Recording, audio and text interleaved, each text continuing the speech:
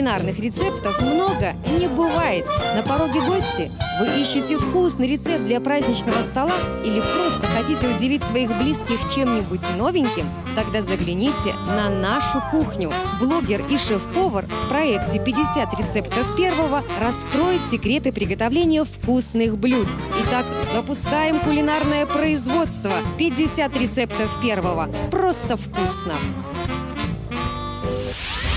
Настало время в этой программе поговорить о погоде. Все потому, что у нас сегодня английский выпуск. Welcome to the table. Английский обед ждет вас с Мариной Кондратьевой и шеф-поваром Артемом Ракетским. Доброе утро! Что нужно для того, чтобы приготовить вкусный обед? Желание, умение, любовь к кулинарии. Поэтому предлагаю приступить к любимому делу. Я как очевидец могу э, смело говорить о том, что тема кухни самая веселая и вместе с тем болезненная тема для британцев. Потому что кухня в Британии считается сильно, очень сильно разбавленной. Смешанной, Она, да. да, смешанной. И считается, что в принципе у британцев как таковых нет своей кухни. То Да. есть они любят индийскую кухню, они любят японскую, итальянскую, португальскую, совершенно разные виды кухонь. Но своя у них кухня крестьянская, простая, народная. И они, они зачастую улыбаются, когда о ней спрашиваешь. И благодаря таким людям, как Хестон Блюменталь, да, великий шеф, Вот, который, в говорить. принципе, из этих э, старых веков, там, 16-17 веков, возрождает эту британскую кухню и дарит миру такие понятия, которые были забыты, как говядина Веллингтон, Да. как пастуший пирог, который мы сегодня приготовим, да, и на самом деле это уникальный шеф, да, который, в принципе, так позиционирует британскую кухню и популяризирует ее в мире. Вот что удивительно получается, Артем. Страна, у которой достаточно э, блеклая, я бы сказала, кухня, родила столько выдающихся шеф-поваров. Да. Это тот, которого ты сейчас отметил. Это Джейми Оливер, Гордон Да, Рамси. да. Сколько? Их там очень много на самом деле. И люди действительно творят из живых, настоящих, простых продуктов, которые доступны людям, которые там живут. Они создают шедевры кулинарии. Сегодня мы попробуем понять британскую душу. Сложно это сделать, конечно же, через кухню. Проще сделать, наверное, через юмор, потому что англичанам он ближе, чем их кухня. Но мы попробуем понять все-таки кухню. И поэтому у нас на столе сегодня роскошная говяжья вырезка. Из Это будет которой получится прекрасный Мясо в тесте. Веллингтон, да. Веллингтон, да. И название это, кстати, не от э, названия города в Новой Зеландии, название это от э, имени, имени графа Веллингтона. Что еще будет, Артем? А также мы сделаем еду британских крестьян. Да. Пастуший пирог. Пастуший пирог. Итак, друзья, сегодня у нас английский, британский даже обед из говядины Веллингтон и пастушьего пирога. Попробуем понять эту английскую душу и, конечно же, поговорим о погоде. Начинаем готовить. Говядина Веллингтон. Говяжья вырезка, копченый бекон, слоеное тесто, мука, яйцо, сливочное масло, растительное масло, горчица, тимьян, розмарин, чеснок, базилик, красное вино, соль, перец. Английский мясной пирог. Картофель, говяжий фарш, морковь, репчатый лук, томаты в собственном соку, растительное масло, сливки, чеснок, сливочное масло, сыр моцарелла, яйцо, сметана, петрушка, соль, перец. Чего начинаем, Артем? Вот с пастушьего пирога как раз таки ты и начинай. А для этого возьми пару морковин, пару луковиц, мелким кубиком их нарежь. Прям мелким кубиком? Да, потом туда стругани немного чесночка пятаками. И это все дело обжарь в сотейнике. Хитренький ты, Артем. Да. Мелким кубиком морковку. Я тем временем оставлю вариться картофель, да. Здесь у нас э, почищенный картофель, вода, немного соли. Я тем временем возьму говяжью вырезку. Это идеальный отруб для приготовления говядины Веллингтон. Так, продолжим про английскую кухню. В Англии очень классно развит фастфуд. И фастфуд, и food. Fish and chips. Фиш and чипс, Я, правильно. кстати, ела английский fish and chips. Я делала это в Лондоне, в столице, а также в периферии, в небольшом городке Борнмут, на побережье. Периферия. И, честно сказать, конечно, лондонский мне больше понравился. Свежая-свежая белая рыба, не жирная, какая-нибудь треска. Она прям вот как будто только что выловленная. Зажарена в кляре, рядышком сочная такая вот по-картофельному сочная. Насколько сочной может быть картошка, прям такая сладкая, уютная, рассыпающаяся во рту. Дольки запеченного картофеля, обязательно горошек там есть и какой-нибудь соус к этому. Простая еда, Ну, абсолютно видишь. простая, но под бокальчик английского темного эля м, восхитительный обед у меня. Получился за 13 фунтов, помню точно. Англичане очень много едят бобовых и преимущественно Есть такое. фасоли. Есть Англичане такое. действительно на душу населения съедают фасоли в год больше, чем кто бы то ни было в мире. А фасоль содержит такие вещества, которые успокаивают нервную систему. От того, наверное, англичане такие вот уравновешенные и спокойные внешне. Но вы не видели англичан в пятницу вечером, проходя мимо какого-нибудь паба. Ох, народ такой горячий на самом Да? деле, да. Это кажется, что они такие холодные и бледноватые снаружи. А если речь о пятнице, Гулять-то гулять. гулять-то гулять, да. Да, я Умеют они тем временем делать. слегка приправлю говяжью вырезку, да. Добавляем соль, перец, свежий розмарин, который мы слегка перережем. И немножко свежего тимьянчика. Артем, что, по-твоему? Артем, что, по-твоему, говядина Веллингтон в классическом ее исполнении и что меняешь в ней ты в приготовлении? Э, В классическом используется так называемое такое рагу или зажарка из грибов, да, то есть грибы Да-да-да. обжариваются, добавляется сливочное масло, делается такая пюреобразная субстанция, потом промазывается ей бекон, и уже, соответственно, делается такой дополнительный слой грибной, да, то есть я грибы не использую, я обхожу сугубо беконом, тестом и непосредственно самой говядиной. И готовлю очень интересный соус на тех прижарочках, в которых будет жариться говядина. Так, теперь добавляю немного растительного масла. Да, мне тоже нужно растительное Я масло, тебе. Что я еще должна нарезать? И Морковушку? пожалуйста, еще. Морковушку я нарезала, что еще? Лук, Лук, тоже кубиком, да? да. Заплачу сейчас, небось? Я думаю, нет. Может, нет? Немножко Я тогда большую одну возьму. горчицы и чеснок. Нарезаем пятаками и также отправляем говядину. Английская кухня. Продукты на самом деле, друзья, все те же, что и у нас. Абсолютно. Тот же лук, та же морковь, та же фасоль, очень много гороха используется в кулинарии. Тоже мясо, которое мы привыкли видеть. Я бы сказала, Артем, даже, ты знаешь, смело могу заявить, что английская традиционная кухня очень похожа на белорусскую традиционную кухню. Да, потому что тоже вытушивается, выпаривается, вот это вот такая домашнясть присутствует, такая достаточно жирная кухня, вот это вот мясо, все это. Сегодня, конечно же, современное общество, современные британцы меньше жиров используют, но в целом крестьянская кухня, она такая. Она без большого количества специй. Англичане любят подчеркивать вкус натуральных продуктов, точно как и мы, белорусы. У нас тоже ведь в традиционной кухне очень мало специй. Ну, такие как тмин, я не знаю, еще перец черный, немного Да, специй. да. Англичан тоже абсолютно немного специй. Несмотря на то, что они обожают индийское карри.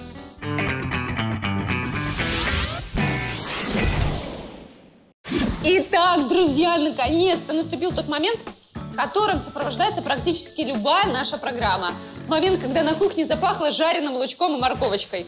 Согласитесь, практически в любой кухне мира есть эта традиционная зажарка, этот традиционный букет. В этот букет сейчас мы добавим еще тимьян и розмарин. И чеснок. Я И вот он чеснок станет- нарезал пятаками. Тоже И от того он станет еще ароматнее.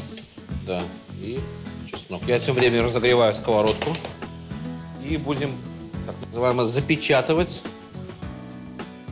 А если быть точнее, зажаривать Говядину. говядину, да. Все, теперь ты можешь э, частями говяжий фарш забрасывать, забрасывать да. Я думаю, чуть больше половины будет достаточно, но, но небольшими кусочками. Поняла. Раскинула, И вот разбивать, разбила, разбивать быстренько. раскинула, разбила, да. То есть мы делаем Поняла. основу для нашего пастушьего пирога, да. То Это есть исключи- опять-таки простые продукты, лук, морковь, чеснок и в принципе простой дешевый говяжий фарш, да, который в принципе можно приготовить из обрезков каких-то мясных, да, вот те- ту же говядину Веллингтон мы готовим, у нас остались обрезочки, да, мы их можем скрутить и, в принципе, отправить в пастуший пирог. Белорус, я уверена, практически любой, который нас сейчас смотрит, захочет все-таки добавить немного свинины в этот фарш, Конечно. чтобы она была, чтобы он был сочнее. Не проблема. Не, ну- не нужно этого делать или можно? Почему? Можно.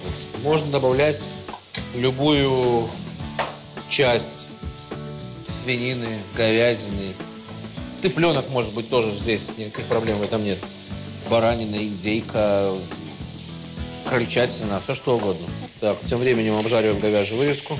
Какая она у тебя красивая, Артем. Конечно. Какая красивая. А Да. как ты ее выбирал? Расскажи нам. Как вот если бы я пошла в магазин, как правильно выбрать вырезку? Ну, во-первых, цвет, бордово-красный цвет, да, то есть, чтобы она была прям ни в коем разе там не светло-коричневая, да, то есть, как если это признак перемороженного мяса, да, это должно хорошо пахнуть. Если мы покупаем охлажденный продукт, если мы покупаем замороженный продукт, то это сугубо внешний вид. А ты покупал охлажденный или замороженный? Нет, мы покупали замороженную говяжью вырезку. Но ты не прогадал. Ты Я не доволен своим прогадал, выбором? да, я полностью доволен. Какого она должна быть размера, чтобы вот, ну вот, что говорит о том, что она вкусная, побольше или поменьше? Ну, средний размер, средний. Не маленькая не большая. Большая же будет, мне кажется, более такая жестковатая и не особо э, ароматная. Да, средняя это самый такой, ну, Я так правильный понимаю- размер у говяжьей вырезки. Я так понимаю, внутри мясо должно остаться сырым немного. Слегка медиум, да. Медиум, да? Мгм. И ш- как нужно обжарить ее для того, чтобы она внутри осталась сырой? Мы еще будем запекать ее. А, еще и запекать. То Еще есть будем обжарить запекать. слегка, а потом Да, запекать. да, да. Со всех сторон мы запечатываем мясо, чтобы оно было сочнее, да, и потом уже, соответственно, будем заворачивать слоеное тесто в бекон. Это просто бекончик. Какой у нас восхитительный бекончик сегодня. Шикарный бекончик, да. И, соответственно, мы делаем, делаем, выкладываем его в рядок на доску, куда потом мы будем укладывать говяжью вырезку. Аккуратненько, друг за дружкой мы его застилаем. А что еще интересно ты в Англии увидела? Расскажешь? Однажды мне очень захотелось мяса, и я пошла в местный паб, заказала себе ребрышки. Мне принесли огромную тарелку ребер, а под ними лежал огромный стейк. Я была в шоке. Я ела, ела, ела, ела, ела, ела, ела, ела. Я, конечно, не доела и так наелась. И там еще было много картофеля, луковых колечек, все это соусом, Так. все это элем запивая. В общем, так. восхитительный у меня был ужин. Мясо англичане готовят превосходно, но, честно говоря, листая меню, очень сложно на чем-то остановиться. Непривычная еда. Бургеры, fish 'n' chips, ну и, в принципе, стейки. Если ты хочешь здоровой еды, ты просто заказываешь кусок хорошего качественного мяса и какой-нибудь салатик. Вот и все. Да? Кухня достаточно скромная, меню не такие, как у нас, знаешь, что сидишь и листаешь, как книгу. Ой, это, это ужас. Да, именно маленькие меню, видимо, блюда такие, которые любят сами англичане. Мне очень понравилось в Англии, что касается продуктов, что что бы ни купил, все высококлассное. Даже консервированная кукуруза, вот такие зерна кукурузы, без сахара, без соли, просто чистые натуральные продукты. Фисташки, о чем бы ни шла речь, все высококачественное. Да, нам кажется эти продукты дорогими, но качество, конечно, плохого не Высшее- найдешь. Высшее высшее качество качество, продуктов да. очень хорошее. Смотри, бекончик я аккуратненько друг- друг за другом слайсы уложил. Говяжью вырезку мы обжарили. При помощи ножа подворачиваем бекончик и собираем такой рулет. Как красиво, Артем, как красиво у тебя получается. Да, и собираем такой рулетик. О, боже. Дай просто тарелочку. Это очень по-английски. Мясо в беконе. Мясо, да еще и в беконе, да. Не хватает это- ребрышек. Не хватает, наверх. Да. Ну, у нас же будет пастуший пирог с мясом. То есть это у нас практически готово. И теперь очень важный момент, да, мы будем готовить на вот этих вот пригарочках, которые у нас остались в сковородке, соус. Для этого мы возьмем кусочек сливочного масла, отправляем его в сковородку. Мне кажется, самое сложное в приготовлении говядины Веллингтон – это как-то Розмарин, тимьян добавляй по веточке сюда. правильно приготовить мясо, чтобы оно внутри осталось сырым, медиум. Ну. И в то же время, чтобы тесто снаружи тоже приготовилось и не сгорело. Ну, Да? это надо зажарить.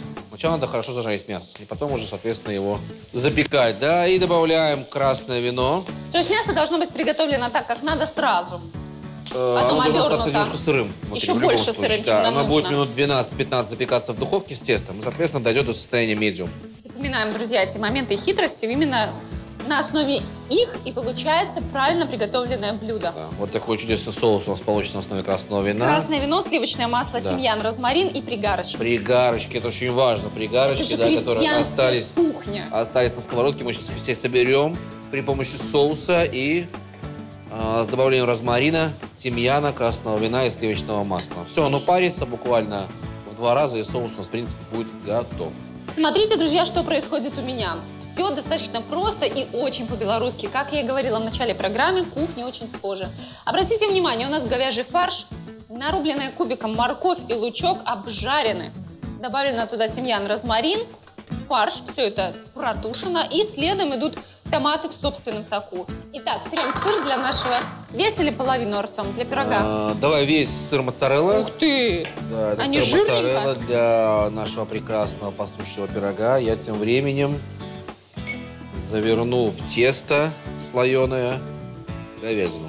Берем тесто, присыпаем слегка мукой стол и раскатываем. Вкладываем говяжью вырезку. Соответственно, заворачиваем. Заворачиваем в такой вот рулет плотненько.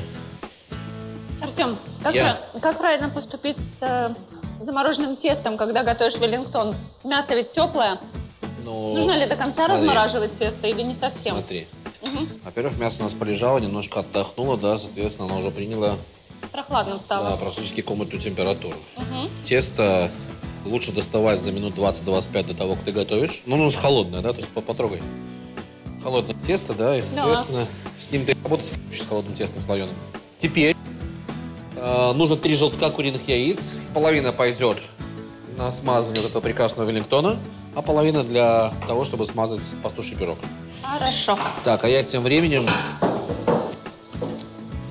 перекладываю на противень говядину. Очень важно класть э, вот этим вот швом, так называемым, который остался от теста, да, на дно, на дно формы. Тогда она у нас не так сильно, как говорится, разойдется. Теперь мне нужны желтки. Да-да-да, да, Почти почти. готово. А я сделаю такую небольшую красоту, да, то есть мы немножко так вот печем тесто.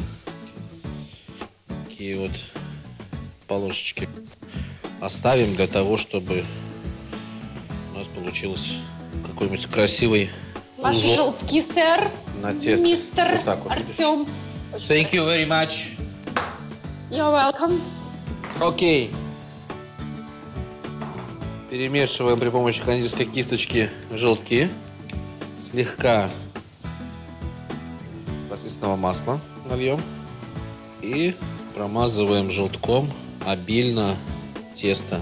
Ой, какой желтый, как желтой краской разукрасил. Смотри, какая в кастрюле у нас еще красота получилась. Давай покажу Да. нашему зрителю, Обязательно. чтобы он видел, как это аппетитно выглядит у нас такой а-ля болоньеза. Ну что, отправляем в духовочку за 185 градусов. Если поддержим минут 12-15, получим медиум. Минут 20-23 получим уже более прожаристое мясо. Прекрасно.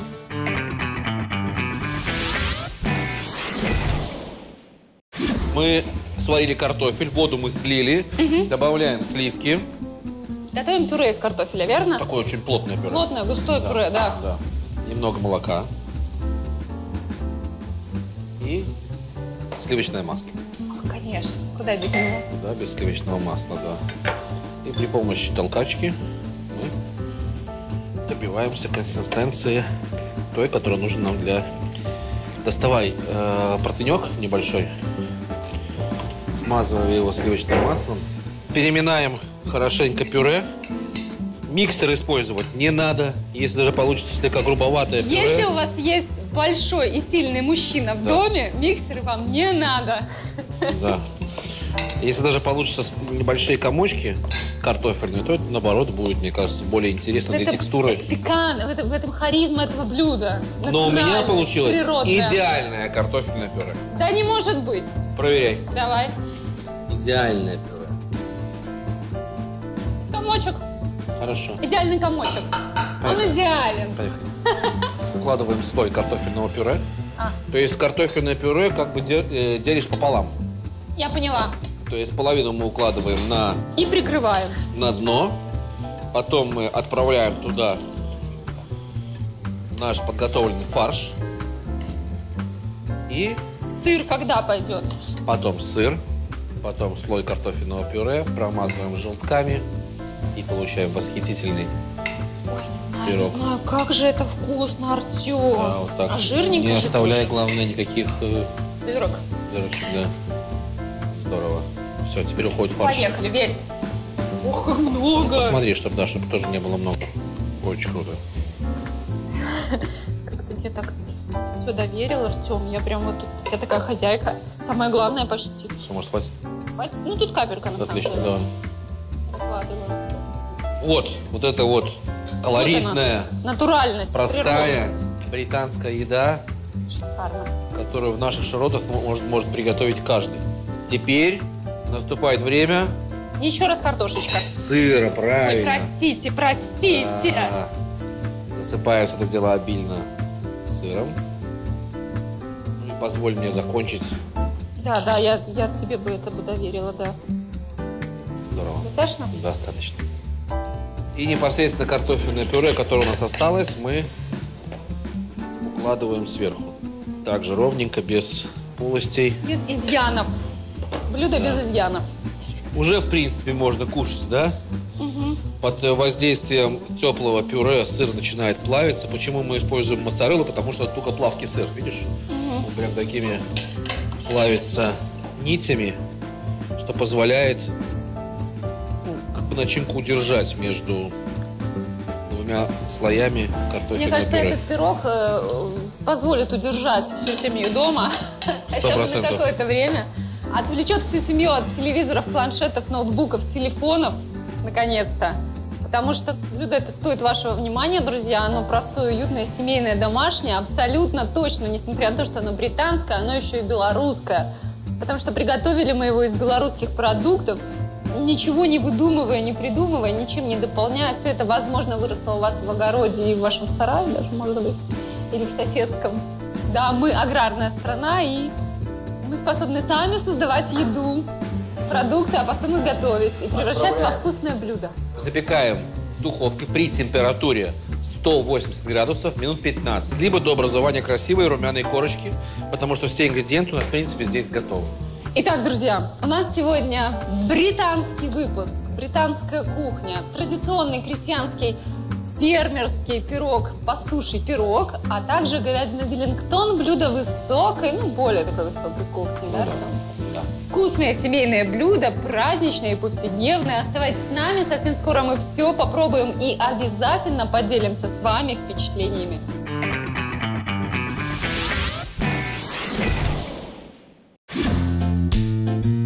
Для приготовления говядины Веллингтон мы использовали говяжья вырезка, копченый бекон, слоеное тесто, мука, яйцо, сливочное масло, растительное масло, горчица, тимьян, розмарин, чеснок, базилик, красное вино, соль, перец. Для приготовления английского мясного пирога мы использовали картофель, говяжий фарш, морковь, репчатый лук, томаты в собственном соку, растительное масло, сливки, чеснок, сливочное масло, сыр моцарелла, яйцо, сметана, петрушка, соль, перец. Начнем с пирога. У нас получилось такой массой. Тягучий сыр, сметанка.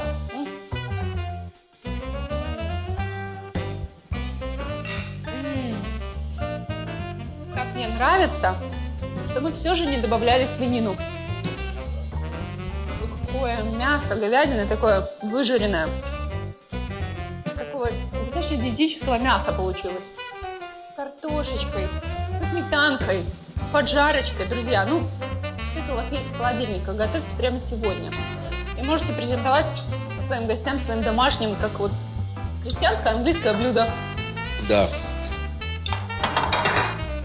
Как же хочется попробовать эту говядину. Обожаю Ты знаешь, сама, сырое мясо. да, самое классное, когда остаются боковые кусочки теста. Они такие аппетитные, Это прям, пропитанные. Их надо вот мясо с тестом брать или как? Немножко бекона. Ой, я и забыла, что тут есть бекон. Великолепно. Нет слов. Нет слов, как это вкусно. Но это сложно. Это? Ну, ну, Потому что нужно правильно приготовить. Технологию соблюсти. да, Степень прожарки имеет значение. имеет значение. Если Ну, мясо пережарится, все. также остается на вкус и цвет.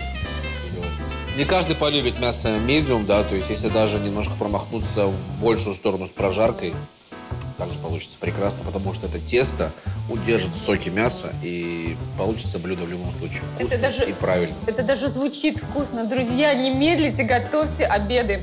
Вкусные обеды, ужины, английские, белорусские, французские, итальянские, любые. Только готовьте, вкладывайте любовь и энергию в то, что делаете. И поверьте, вам это вернется обратно. Энергии, любви, позитива, радости, вдохновения. И если в семье царит такое настроение, то там не может не жить счастье. Все сокращенные выпуски рецептов вы найдете на нашем официальном инстаграм-аккаунте 50 рецептов, а выпуск нашей программы в хорошем качестве ищите на YouTube-канале телеканала «Беларусь-1».